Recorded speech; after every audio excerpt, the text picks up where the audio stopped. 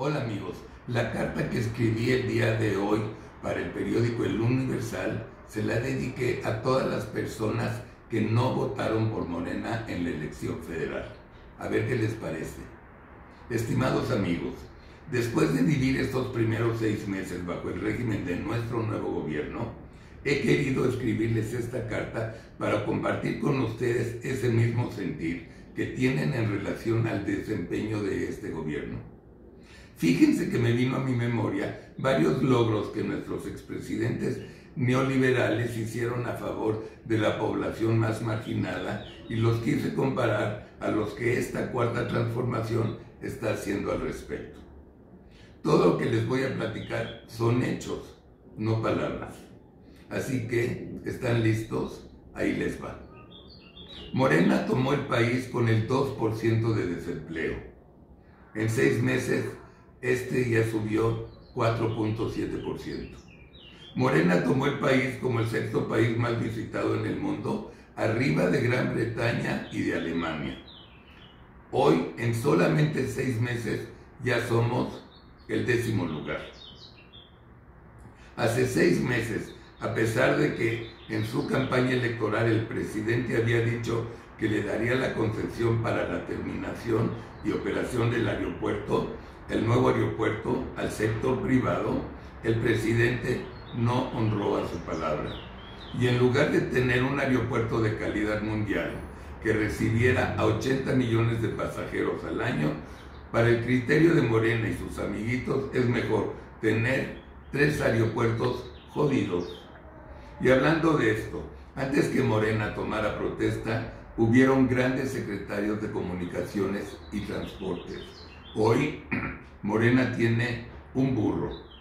Hace seis meses Morena recibió al país con guarderías infantiles, guarderías que permitían a las madres trabajar sin mayores preocupaciones y a la vez estos niños pudieran convivir entre ellos. Hoy ya no hay. En su lugar, prefieren construir un pinche tren y una refinería que al final de la historia ni lo harán ni servirá para nada. También, hace seis meses, México, Morena recibió un país muy violento, es cierto. Seis meses después, la Ciudad de México es 37.8% más violenta y nuestro país 8% más violento. Morena recibe un país con la obligación de licitar abiertamente cualquier obra de gobierno. Hoy esto ya tronó. Se asignan a sus cuates y punto y aparte. Cuando entró Morena al poder, se encontró un México unido.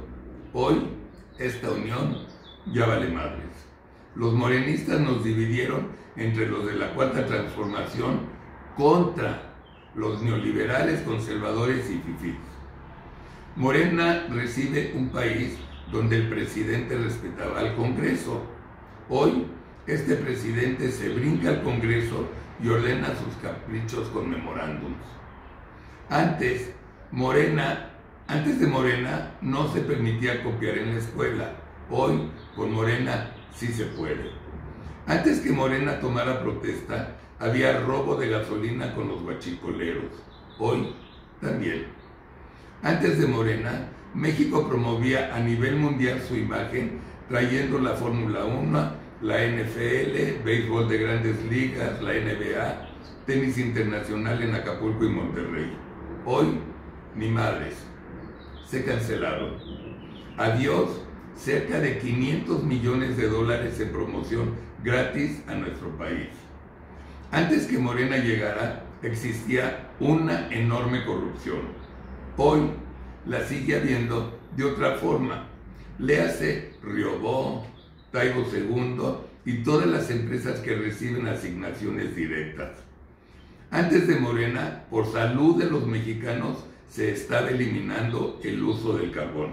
Hoy, todo lo contrario, se promueve su uso a costa de la salud de los mexicanos.